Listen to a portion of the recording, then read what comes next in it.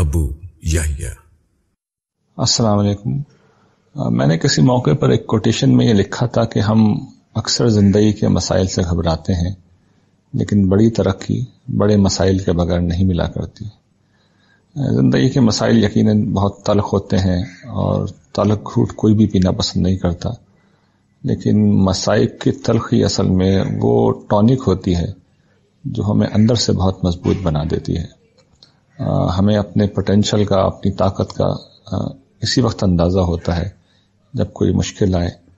Theory of evolution جتنی کچھ بھی ٹھیک ہے اس میں اگر آپ غور کریں تو یہی چیز نمایاں ہوتی ہے کہ مسائل پیش آتے ہیں چیلنجز درپیش ہوتے ہیں۔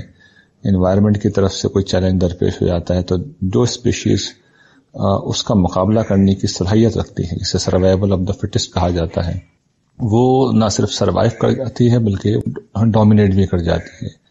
یہی بات ٹوائن بی نے بھی ہیومن سویلائزیشن کے بارے میں کہی تھی۔ تو یہ گویا کہ تمام انواع کے بارے میں، تمام اسپیشیز کے بارے میں اور تمام انسانوں کے بارے میں اللہ تعالیٰ کا ایک کلیہ قاعدہ ہے۔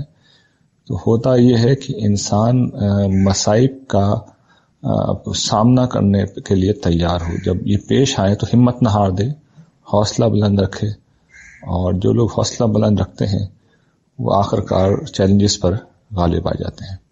اللہ تعالیٰ آپ لوگوں کو اپنی رحمتوں کے سائے میں رکھے اور ہر مصائب ملافات کے مقابلے میں ہم سب کو حوصلے کے ساتھ کھڑے رہنے کی توفیق عطا فرمائے۔ آمین۔